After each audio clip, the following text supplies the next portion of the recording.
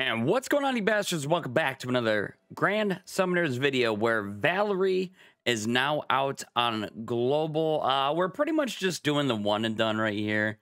Um, we got super awoken characters like Fen coming out uh, relatively soon.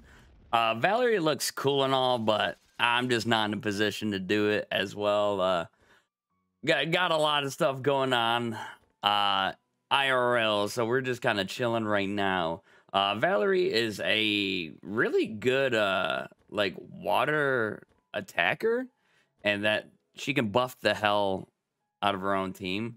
I mean, she could be used for some people, but not for me, unfortunately. But anyway, you bastards, let me know if you like this kind of short where it's just me talking and not quite, you know, just the summon. Uh, hope you guys enjoyed. I'll see you in the next one. Good luck on your summons. Take care.